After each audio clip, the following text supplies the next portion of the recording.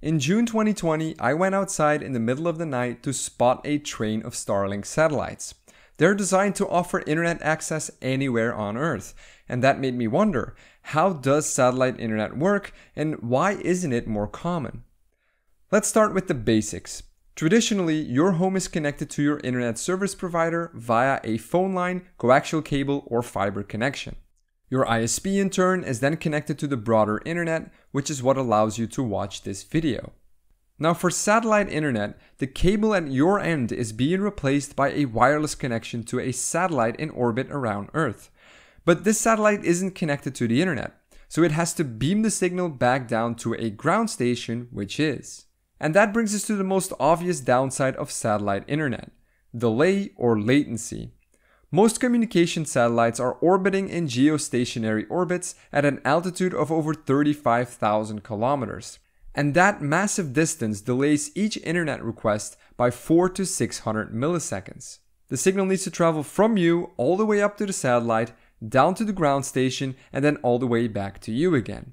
Now, you think this wouldn't be much of a problem because these signals travel at the speed of light.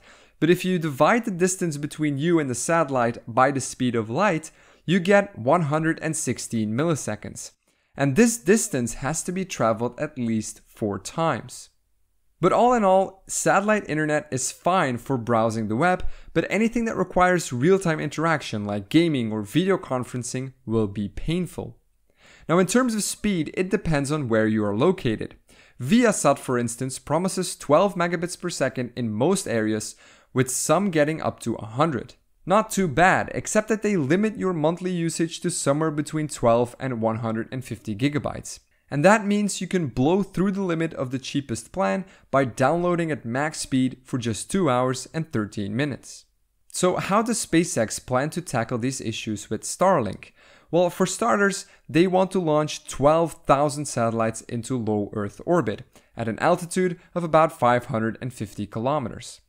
That is 60 times closer than traditional communication satellites and reduces the latency to just 25 to 35 milliseconds.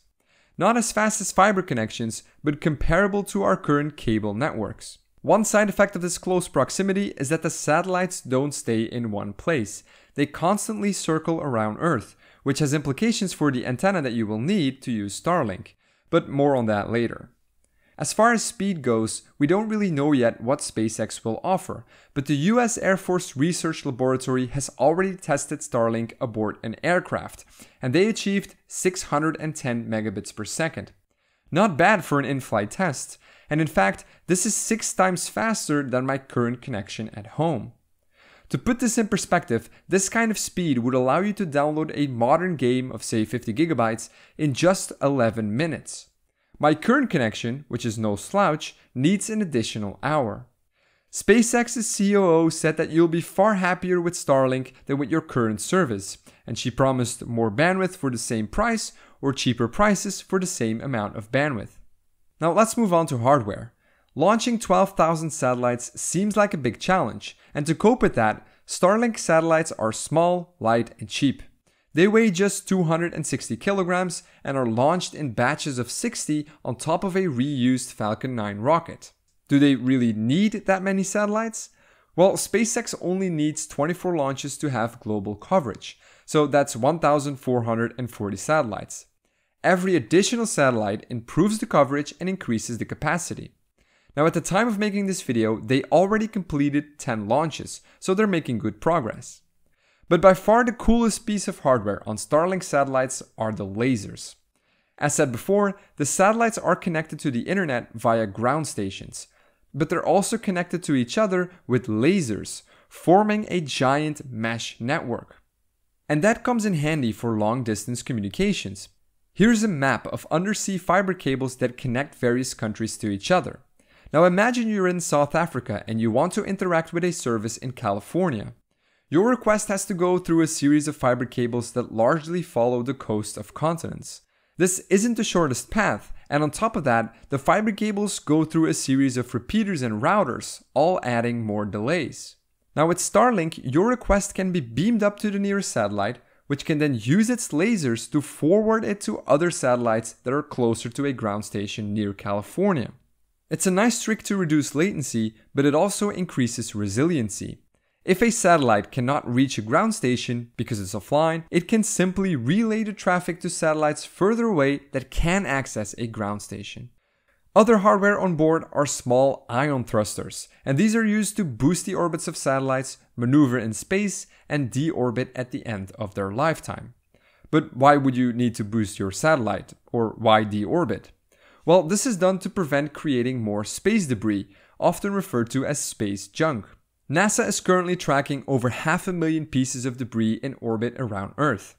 They vary in size, going from small pieces of paint all the way up to dead and uncontrollable satellites. But the problem is that they travel at speeds of up to 28,000 kilometers per hour, almost 10 times faster than a bullet. At these speeds, even tiny pieces of paint can cause severe damage to other satellites in orbit. A damaged satellite can then break apart, make more debris, and cause even more collisions. This endless cascade is known as Kessler syndrome, and if it happens, it will make space activities really hard or even impossible, severely impacting us. It means no more satellites for GPS, weather predictions, TV broadcasts, and no more International Space Station. Now, SpaceX is doing a lot of work to prevent this. The reason why Starlink satellites are so close to Earth is not only to reduce latency, but also because at these altitudes, the satellites experience atmospheric drag. If they don't periodically boost themselves up, they would burn up in the atmosphere after a couple of years, essentially cleaning up after themselves. So, this way, SpaceX doesn't have to worry about an unresponsive satellite, it'll just come back down on its own. That is much better than leaving the satellites in orbit regardless of whether they're still operational, something that is actually fairly common. Since the beginning of spaceflight, humanity has launched about 9,000 satellites. 5,000 of those are still in orbit today, but only 1,900 of them are operational. The rest is dead, unused, or uncontrollable. They are space debris. Now, Starlink satellites also have an autonomous collision avoidance system that uses data from the Department of Defense to automatically move out of the way of approaching debris. No human required, the system handles it all. Now, let's move on to customers. Who is Starlink intended for anyway? I mean, most people in Western countries have decent internet connections, right? Well, I was shocked to find an FCC report that said that 21 million Americans, or 6% of the population, don't have broadband internet connection. Another study put that number at 42 million, and Microsoft suggested that 157 million Americans don't have internet that qualifies as broadband. And that's in a country that we consider well developed. Now, if we zoom out and look at the rest of the world, things become even worse. UNESCO estimates that only 55% of households have an internet connection. That's due to bad coverage or expensive service. In sub Saharan Africa, for instance, a single gigabyte of data costs nearly 40% of the average monthly wage. So, that is who Starlink is intended for. Clearly, there is a market for low cost, high speed internet access anywhere on Earth, and that market could become really big. Morgan Stanley estimated that the market for satellite internet will be worth over $400 billion by 2040. So, what do these future customers need to use Starlink? Well, based on leaks, you'll need a relatively small satellite dish outside your house.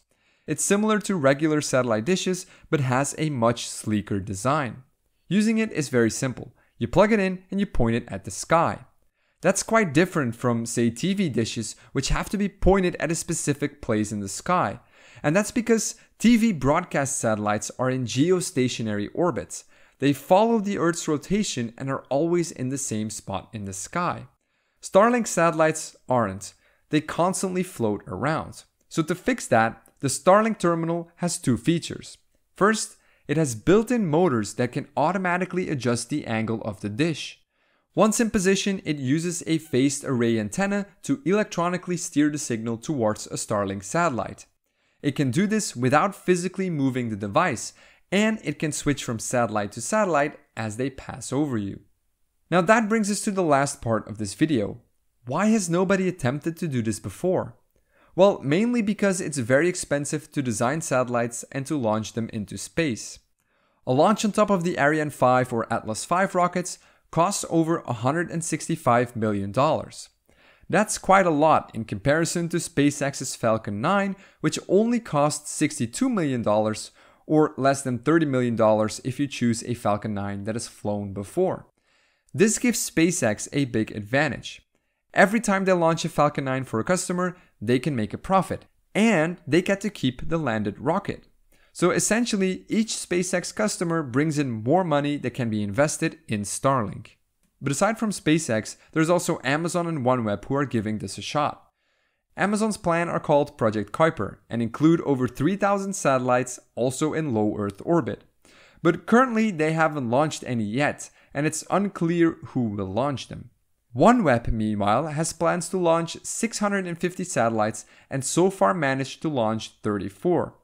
In 2020, however, the company faced financial issues and was saved by the UK government, which took a 55% stake in it. But again, of all these three companies, only SpaceX can launch their own satellites. But Amazon might follow in the future when Blue Origin gets up and running. Now, personally, I can't wait to see what SpaceX will do with Starlink and how the market of satellite internet will evolve. Let me know your thoughts in the comments below and consider subscribing to the channel if you haven't already. Thanks for watching, until next time.